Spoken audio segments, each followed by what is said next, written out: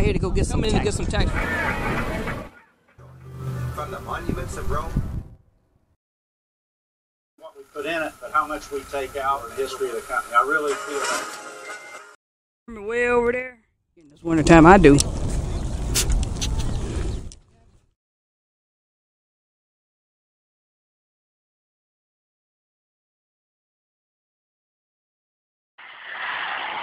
That's where I used to work at some years ago.